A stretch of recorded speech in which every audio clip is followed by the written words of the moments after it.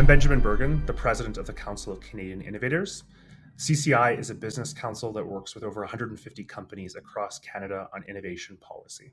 Benjamin, thanks so much for taking the time. It's really going to be a pleasure speaking to you. I'm, I'm excited about it already. Um, let's start broadly with the digital economy. Uh, what are the main forces and trends you see shaping it? And when you look at Canada in general, what do you identify as our strengths, weaknesses, maybe opportunities within it? That's a great question. And thanks for obviously having me. I think, you know, when we talk about the digital economy, it often kind of gets wrapped up in a, in a couple of different terms, whether it be, you know, the intangible, the innovation, and it can often sometimes seem abstract. But really, what it comes down to is really the machines and software that ultimately, you know, animate and create the digital future that we're in. And there's three things that really underpin that, that makes it different from the tangible economy. And that really is talent, uh, IP and data um, and really the systems that enforce uh, the regulations around the IP and data. So thinking about things like trade agreements, standards, and regulations. And the fuel really within the digital economy is talent. It is the raw material that is animating and really leading forward uh, this uh, new economy. Canada has a really great track record of education, of really producing top talent. Um, but what we're seeing is that the uh, forces that are in the talent space right now have actually never been harder. And what I mean by that is that uh, the pay for highly skilled workers is really being exacerbated by not just the need for talent in Canada, but the talent globally. As an example, Amazon has actually doubled its base salary from $160,000 uh, US to $350,000 US. And so you now have Canadian firms having to compete for these highly skilled workers, which really you know drive uh, wealth and prosperity, as, as I mentioned, um, and and and really finding it a challenge. Further, kind of behind this piece is really that you know there just is not enough talent in the ecosystem. And so that is driving up wages and really leading to a challenge for Canadian companies to find those folks. It's estimated that by uh, 2025, 250,000 positions in the ICT space are not going to be filled. And so figuring out how, you know, we as a country can help mitigate that issue, I think will be really, really critical uh, because it is the, one of the major constraints on uh, Canadian economic uh, growth. The other area where I would say uh, that Canada um, and particularly innovators struggle is really around uh, some of the regulations that flow from IP and data. So, Canada doesn't have a comprehensive IP strategy. We don't have a comprehensive data strategy. And, and with that, what you see ultimately is uh, the pooling out of uh, our good ideas and of the data that drives a lot of those uh, algorithms and other uh, economic opportunities. Well, let's let's dive deep into talent since you mentioned that as the biggest challenge we're facing, and as you said, uh, it's not a short term one either. Um, what needs to be done by our governments, federal, provincial, and also by our companies to attract the best talent? First of all uh, and and to retain it to be able to support the growth of our innovation economy? Yeah, so I think that's that's a great question. That's really something that that we at the council are kind of tasked with day in and day out. And one thing I think might be interesting for your uh, for your viewers is that the talent crisis um, has also changed, and and it really has been COVID that has animated a lot of that change. Um, we wrote a piece called Brain Drain 2.0, uh, and you know Canadians are familiar with the idea of brain drain, where you know our best and brightest leave and go to other jurisdictions, and that you know predominantly in the tech space is often to Silicon Valley. Um, but what we're seeing with Brain Drain 2.0 is that uh, Canadian workers are no longer uh, needing to leave the country. They can open up their laptops uh, in Winnipeg or Saskatoon, Vancouver or Toronto and work remotely. And so that is putting uh, even sort of greater pressure on domestic firms to be able uh, to keep and retain talent here. And so, what we really need is a policy response from both federal and provincial governments that uh, help keep uh, highly skilled workers here in Canada, but also expands the talent pool.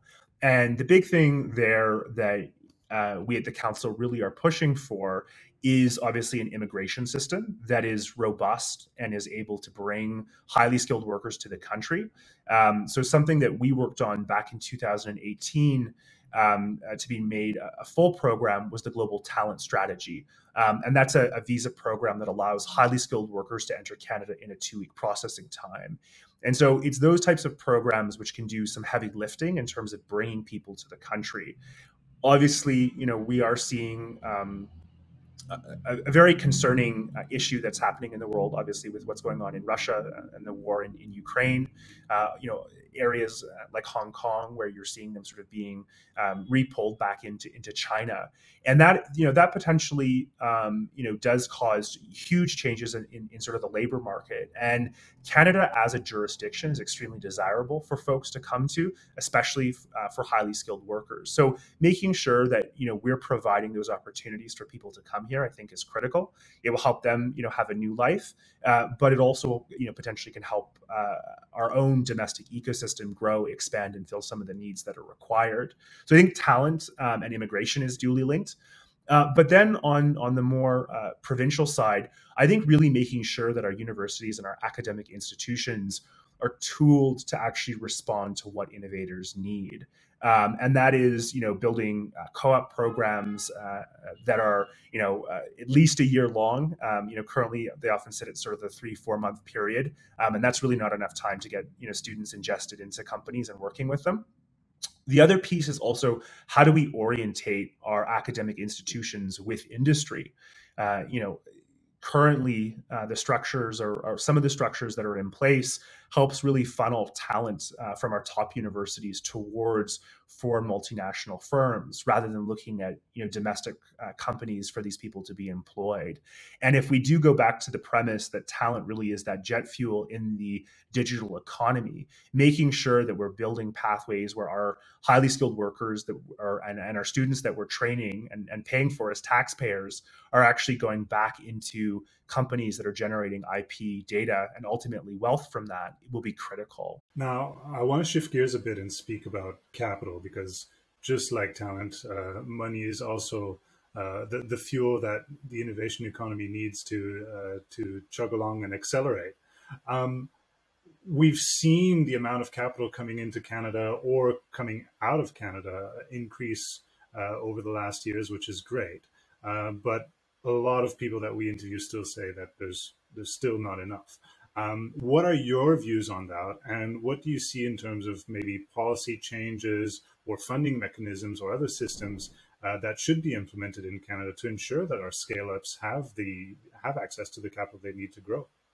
Over 80% of that $15 billion that was raised was US capital. And so, what that means is that the value creation that comes from high growth companies being fueled by US investors ultimately doesn't end up residing within the country. And so when we think about the long term effects of this, ultimately what that is is that that's uh, valuation and wealth creation that's going south of the border and not staying here within Canada.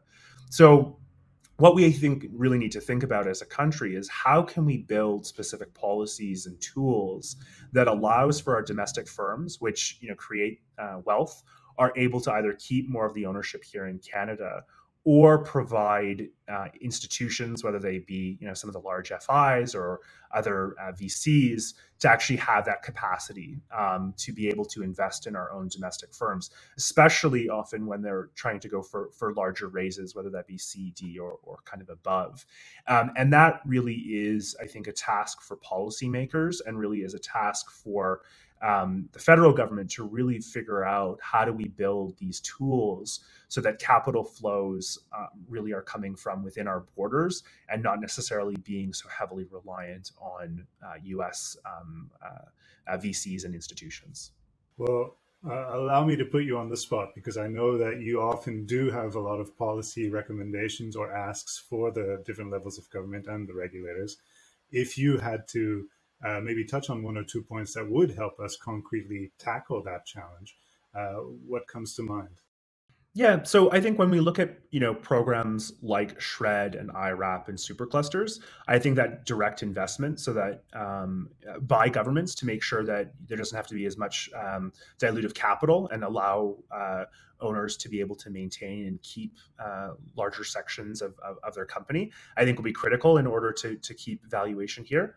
And then on the policy around sort of government looking at things like taxation, I think you know there are tools programs like Vicky, um, which was a, a, an investment capacity that the federal government brought in, can be helpful in terms of helping to corral funds um, and make it more uh, attractive for uh, Canadians and, and other institutions to actually invest locally. In October 2020, the Council, the CCI, and its members wrote an open letter to Prime Minister Trudeau, and you urged him that it's time to for Canada to focus on nation building.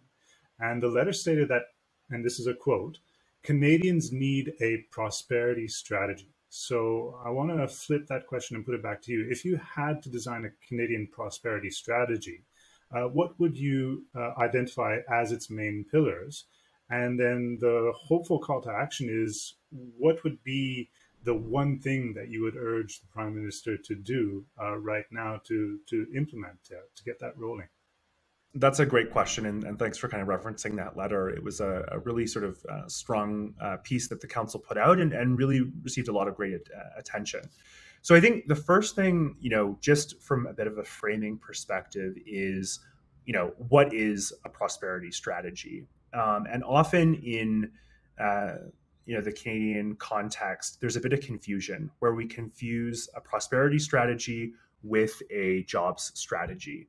Um, and so from a context setting, you know, where I really want Canada to play uh, um, in in the prosperity strategy game is is understanding that wealth and prosperity comes from IP and the data um, that is generated. And to give you that a bit of context, uh, back in uh, 1985, only 17% of the S&P 500's valuation came from the intangible economy. Fast forward to today, over 91% of the S&P's value comes from the intangible economy. So this really is where all of the wealth and prosperity is being generated in the 21st century. And if we're not um, creating successful technology companies that are able to generate the IP and data that I've mentioned, we're really not playing in that uh, in that space. So kind of writ large, what I really want to see is a Canadian uh, strategy that ties in these two pieces in order for us to be able to pay for a obviously you know the the huge amounts of money we've spent on covid um, through you know the taxation of these companies being successful and b the future of programs like education healthcare housing transit you name it um, and so that that from a framing perspective is just kind of where i sort of uh, want to land. In terms of what that is is going to really require i think you know i've mentioned talent a number of times throughout this uh, conversation. And so you know if i had a chance to uh, you know bump into the prime minister or or you know be able to really kind of dive into it it really will be to uh, understand um, uh, the needs of uh, Canadian innovators on the talent side. So, making sure that that really is a focus uh, of his government. Um, and then the other area really is around building strategies related to uh, intellectual property and, and, and data management as, as being the other two. From a call to action perspective, one of the things that the council has called for, and you've actually now seen, as I mentioned, in um, the Liberal government's uh, uh, plan, is a commitment to build an economic advisory council um, that will help guide the economy. And you know, our hope is that it will be uh, supported by domestic innovators, which can provide a perspective of the challenges and the issues that they're facing.